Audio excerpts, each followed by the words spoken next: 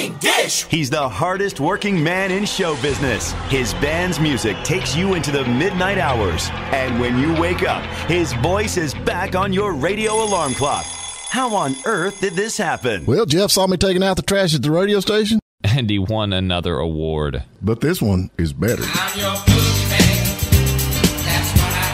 It's the Morning Dish with the 2019 Radio Personality of the Year winner, Steven Phillips, You paying attention to this, Packy?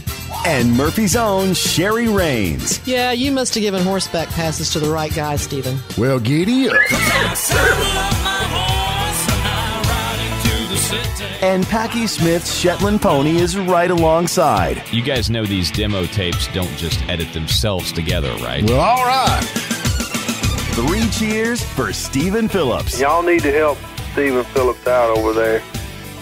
Out the door and off the radio. Here's Steven Phillips. All right, folks, we're back with you, and I'm excited to know end. I mean, I know everybody here has followed Friday the 13th, but we actually have uh, Lar Park Lincoln with us that uh, has been on it and still on it right now with us. Good morning. How are you? Hi, I'm good. Thank you so much. I mean, it's got to be the coolest thing to be in the horror film business. I mean, golly, do you love it or not? Well, you know, it's a lot of fun. I love horror movies, so getting the first one was was really fun to get and do and and play with. Yeah. But I mean, you know, the Friday the Thirteenth to me, uh, out of all the horror films, is the one that everybody. I mean, you know, even the kids in school when it comes Halloween, they dress up like Friday. I mean, uh, you know, with the mask and all that stuff. Yes, they are. Although I think I think uh, I think they're a little, some of them are a little too young to be watching the scary movies. But yes, it's a it's a pretty well known franchise. Oh yeah, golly, it's got to be fun to have part of it. But now, one of the things that uh, I understand is coming or fixing to be released here pretty quick is pretty interested. uh, Thirteenth, uh, thirteen fanboy. Tell me about this. This is Right. pretty. This is a neat twist on a horror film. It, it is. Um, our director, uh, Deborah, was uh, in uh, was also an actress, and she wrote this really interesting, dark little script about um, a, a stalker, a, a, a fanboy stalker. You know, a little emotionally off that goes after the actors in the film. So we play a you know a fictionalized version of ourselves and uh, and it was really it was really fun and really interesting. I had had a severe stalker situation for many years, Right. and you know you get through it. I mean, obviously those people are challenged, and uh, it's not the everyday world. I know, I know. shadow, Mm-hmm. right?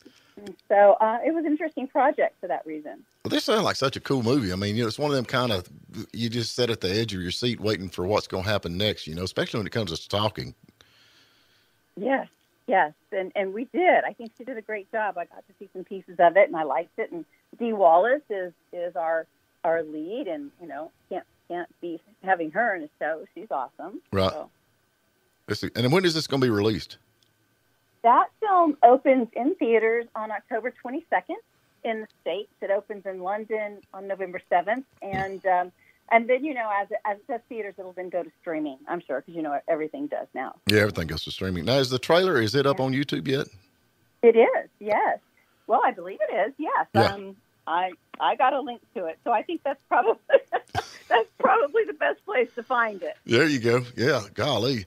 But now you, uh, you know, in the Friday, the Friday the Thirteenth series, uh, you have been in two two separate movies with that. I have been in uh, one, uh, the Friday the Seventeenth series. I did part seven, and I have Roseblood coming out on uh, November 29th, which is the continuation of my character 30 years later. Oh wow. So yeah, it was really very very cool. So it takes place um, 30 years later, and we find out what what may have happened to the heroine. I always like, yeah, I always like to know what happened next to be continued. But how many how many series have we had on the, on Friday the Thirteenth now so far? We've seven. I no, there there were some after part seven took it into a different direction where my character wasn't afraid of the monster. She chased him. She was never attacked by him or killed or anything like that. Right. It took the series that way, and then they did some different versions for eight, nine, ten. I I don't really know what followed that one, honestly. Wow, that's crazy though. You know, a lot of the you know when you have films like this that that continue, it's usually one, two, and three, unless it's Star Wars. You know, Star Wars keeps going. Sure. But Sure. uh, and I I, think that they, you know, they had always planned to do more, but the production companies, you know, New Line and Paramount, all the different companies ended up in a lot of lawsuits with each other and writers and different things like that. So it got stopped, and that's where the fan films started picking up the storylines and really are doing some amazing jobs. Yeah. Well, now, you know, I told you, I know that part of that was filmed here in Georgia on one of the episodes, uh, I say episodes, but one of the movies was filmed down in Georgia, Uh-huh. which is pretty interesting. And that's one of the reasons they're really popular in this area. And of course, I think everything is, you know, when it comes to Friday the 13th, because everybody dreads to see Friday the 13th come. But uh, man, this is a great series. Now, tell me about this Roseblood. What is, what is this? Is the continuation of your your person in the movie? Can you tell us a little bit about? It? Right, right. It's the continuation of Tina's story. Right. So um, we have an actress that uh, plays me in the year following uh, the ending of the film, Right. and then we go forward to where I am now and where where I've been kept for these 30 years and what happens. And uh, the the guys that did it have just done a phenomenal job. It's a full length feature Right. and they just did an amazing job. I know the fans are going to love it. We bring back um, Terry Kiser, who played the mean Dr. Crews, Right. and he's very evil and fabulous. And we bring back my love interest, Kevin Spirtas. So Oh, you got to have that. Got to have that. yeah, you got to have that. Mhm. And so it, I think it's just a super fun film. So it's about takes place with a. I'm called the New Blood in part 7 Mhm. and this character has a young teen called Roseblood, Mhm. and so I take her under my wing and and help her out with some of those magical powers. Because I was telekinetic and psychic in that film. There you go. Now, folks, that's just tuning in. Lar Park Lincoln is who we're talking to, and uh, if you've seen the anything to do with Friday the Thirteenth, uh, you've have watched her, and she's got a lot of new stuff coming out. But now you've got another movie that uh, that you. I mean, golly, how busy are Ghost Party? I mean, honestly, Yes, Ghost Ghost Party Autobro. Yes, it's been a phenomenal time uh, for me to be acting and just thrilled. Ghost Party, which will be out um, probably first quarter of next year, is a family fun haunted house Right. where uh, um, ha- most of us family members are ghosts. I'm a ghost from the early 1900s, and then we have a few living relatives still left, and we meet to have a family reunion. And it's just really cute and fun, and for everyone, and um, has a very Disney haunted house feeling to the set itself. right. well, now let me ask you something. You, of course, you was on Knots Landing, and uh, that's a completely different from the horror stuff that you're in. What? What do Right. you? I mean, you know, like to me, I'm not a, I'm not an actor, but if I was an actor, I'd want to be the bad guy. That just seems like that'd be the most fun. So, I mean, do you like the Well, it is. you like the horror stuff? You think is? I mean, you like that better than than I guess what you call straight acting, where it's just a story where somebody's telling a story about something. You, but you like the horror horror side of it. Um, no, I don't. I don't think I, I love any side particularly more than the other. On, on Na- Knots Landing, I played a a very evil, manipulative character. Yeah, that's the best. So, yeah, she, you know, she was truly one of my my favorite characters. Um, Mhm. Played her for a good long while, and and I really like television too. I like the taste of television. So, um, you know, in, in horror films, um, I'd only done Friday Thirteenth. I also did uh, the series with Freddy Krueger, which is a Nightmare on Elm Street. oh, I know all about But I- that. Yeah, but I did the TV series version, which was kind of like um, the Twilight Zone. Right. You know, it was it was freaky and interesting, and those are my favorites. I, yeah, I'm with you. And I, I- of course, when it comes to horror, I, you know, I grew up when Freddy Krueger first come out, Nightmare on Elm Street, and back then it was just the scariest thing ever. And then, like I say, Friday the Thirteenth on top of all that, but it was just, uh, Terrifying. yeah, yeah, it was very terrifying. My wife to this day can't watch horror films; she just can't do it. I mean, it can't be done. So, so let me ask something. You're in all this horror stuff. Do you believe in ghosts? Do you believe in ghosts? Well, I haven't had very many uh, m- very many introductions to ghosts. Right. You know, I think I've felt a few ghostly things, but um, Right. Certainly open to that that idea. Yeah, I don't know. You know, some people's like, I don't believe, and some people say, Yeah, I believe in ghosts. But I'm Right. like you. I don't know. I, you know, I've been I've been around some really freaky people that I'm thinking that's possessed, but you know, you never know. And and you know, you're talking about stalkers. You know, I mean, a lot of people in the acting business has been stalked. Of course, I've got a lot of bill collectors, and I call them stalkers. So I guess it's kind are of the same thing. stalkers also. well, I, I I think that the actors that have that have stalkers like myself when it happens, it's just because it's more known because it's more visible and talked about. But um, I've known so many women that have had maybe some overzealous boyfriends that have just kind of harassed over time. And when I'm talking about a stalker, I'm talking about someone that's, that's trying to get violent and trying to disrupt your life. Oh, you yeah. know, Mhm. in your home and and that kind of a situation. Yeah. Well, that's the thing, you know, when they see you on TV and they they, they get infatuated with this kind of stuff, and then Sure. they're, they're a little bit unbalanced. But uh, you know, I don't Sure. know this one that you got they, coming out. they get to know your real life, and they'd be like, "Oh man, she's just she's just a pretty normal gal." Oh, yeah, well, ain't none, I mean, that's the thing, you know. This the this thirteenth fanboy. I can't wait to watch that. I mean, I'm excited. I like that Yeah. kind of stuff. You know, I mean, it's just to me, it just kind of keeps your nerves shot all the way through the movie. Like, what's going to happen next? You know, it's it's for fun, and you know, it's exciting and fun to watch, and, and they're fun to shoot also.